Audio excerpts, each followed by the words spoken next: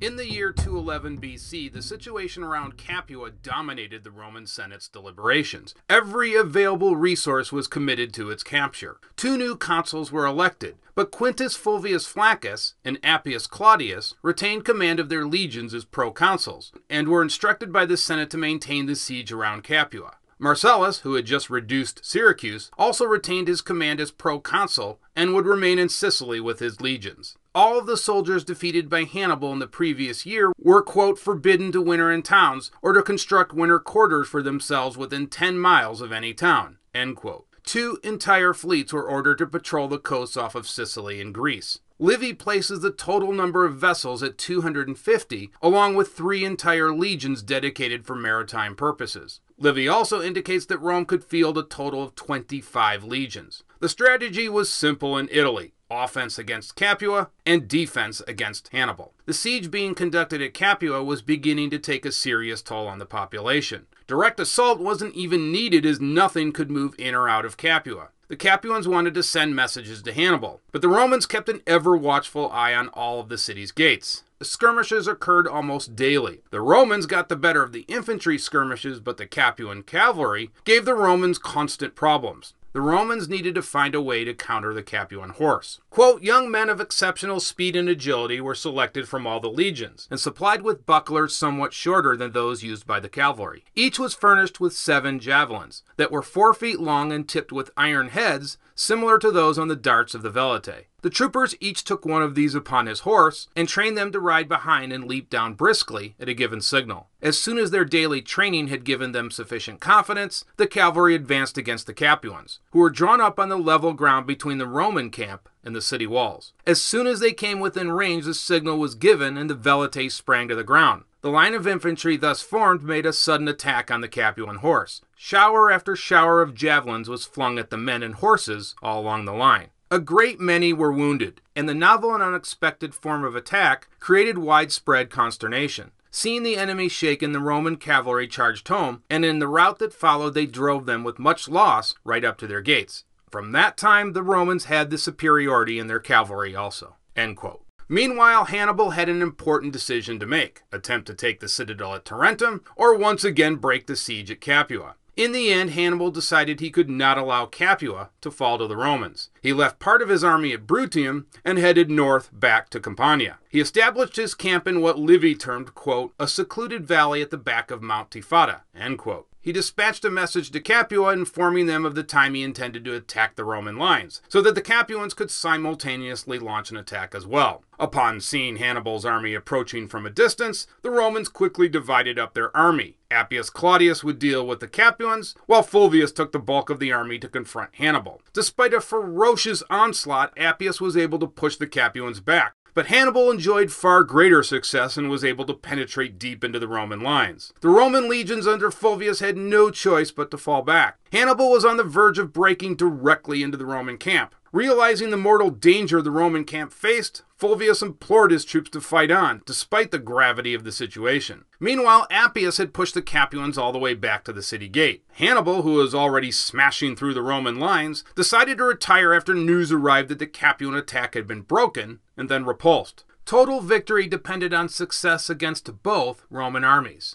The next morning, the proconsuls were surprised to see the Carthaginian camp abandoned. Hannibal had marched on Rome. Fulvius immediately informed the Senate that Hannibal was on his way. The Senate convened an emergency session to decide what to do. Was Hannibal really going to march on Rome? Part of the Senate wanted to recall every Roman legion in Italy for an all out defense of Rome, even if that meant abandoning the siege of Capua. However, as usual, Fabius urged calm. Perhaps no Roman ever understood Hannibal better than Fabius Maximus. Fabius was convinced this was all part of an elaborate ruse by Hannibal to get the Romans to break off their siege against Capua. With Hannibal, you must always think the opposite of what he really intends to do. Livy provides us Fabius's speech to the Roman Senate. Do you suppose that the man who did not venture to approach the city after his victory at Cannae really hopes to capture it now that he has been driven away from Capua? His object in coming here is not to attack Rome, but to raise the siege of Capua. The army which is now in the city will be sufficient for our defense, for it will be aided by Jupiter and the other gods who have witnessed Hannibal's violation of treaty engagements. In the end, the Senate heeded Fabius's advice and decided to exercise patience. For now, the Roman garrison would be sufficient in defense of the capital. The Senate also issued a decree that Fulvius and Appius could decide on their own what type of force was needed in the defense of Rome. They alone would decide how many legions needed to be dispatched to Rome, and the size of the force needed to maintain the siege at Capua. Fulvius thought it best to dispatch a force of 15,000 infantry and 1,000 cavalry to Rome, while the rest of the legions would maintain their positions around Capua. Hannibal did in fact cross the Volturnus, and not surprisingly, immediately laid waste to the surrounding territory. He also burned the boats he used for the crossing so the Romans could not utilize them. He then pushed deep into the heart of Roman territory, making it as far as the Liris River. But his march stalled after the Romans destroyed the lone bridge. Still, there was widespread panic in Rome with Hannibal in the vicinity of the capital. According to Livy, quote, the wailing city of the matrons was heard everywhere, not only in private houses, but even in the temples. Here they knelt and swept the temple floors with their disheveled hair and lifted up their hands to heaven in a piteous appeal to the gods that they would deliver the city of Rome out of the hands of the enemy and preserve its mothers and children from injury and outrage. The Senate convened a session in the forum and decided to post guards all across the walls and Capitol. Meanwhile, Fulvius was on his way with an army from Capua. Fulvius, however, was not allowed to assume command of the forces inside Rome since he was not a consul in 211 BC. In order to get around this technicality, the Senate granted Fulvius consular powers. By this time, Hannibal had established a camp just eight miles away from Rome.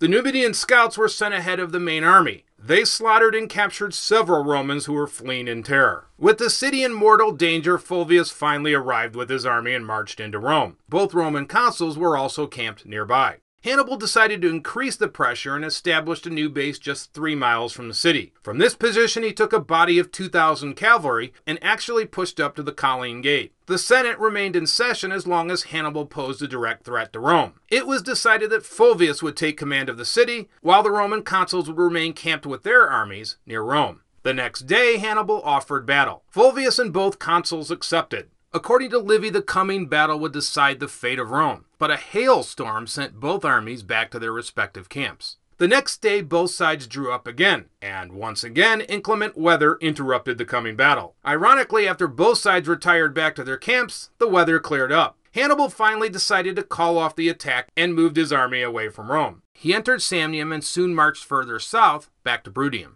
I think this act alone confirmed Fabius's suspicion that Hannibal all along never really intended to capture the capital. His real objective was to lure the Roman legions away from Capua. After Hannibal's departure, Fulvius returned to Capua and pressed on with the siege. This time, Hannibal made no attempt to interrupt the Romans. The Capuans were essentially left to their own fate the Roman Senate issued a decree that any Capuan who surrendered would be granted full amnesty. But according to Livy, not a single Capuan took advantage of the offer, as they thoroughly distrusted the Romans. The Carthaginian garrison in Capua was left to command of what was surely a doomed city. They wanted to still send messengers to Hannibal, but how could they break through the Roman lines? The idea was to have some Numidians enter Fulvius's camp, posing as deserters. Then, at the opportune time, the Numidians would make a break for it. Fulvius, however, discovered the plot and ordered all the hands of the Numidians cut off. The crippled Numidians were then sent back to Capua. This act alone sent terror through the streets of Capua. With no chance of contacting Hannibal, the Capuan Senate convened an emergency session. Many senators wanted to surrender with the hope the Romans might show some mercy. But Virrius, who was the main senator opposed to the Romans, urged the Senate not to surrender. He said the following I refuse to be dragged in chains through the streets of Rome to grace their triumph and then in a dungeon or bound to the stake. I will not see my city plundered and burnt, and the matrons and maidens and noble boys of Capua ravished and outraged. Alba, the mother city of Rome, was razed by the Romans to its foundations in order that no memorial of their origin might survive. Much less can I believe that they will spare Capua, which they hate more bitterly than they hate Carthage. A rousing speech for sure, but by now the will of the Capuan Senate was broken, and the decision was made to unconditionally surrender the city. Virrius left the Capuan Senate chambers and retired to his home. Many others who supported his position accompanied him as well. Virrius held one final dinner, and near the end, a cup with poison was passed along to the guests. According to Livy, all were dead before Fulvius entered the city the next morning. After his legion was firmly situated in Capua,